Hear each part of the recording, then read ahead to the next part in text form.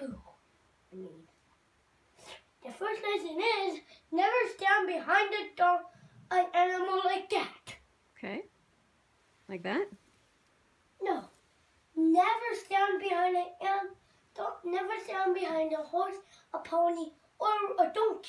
Very good. That's the that's number two lesson. Okay. The number three lesson is never get irritated at a donkey because they're just animals.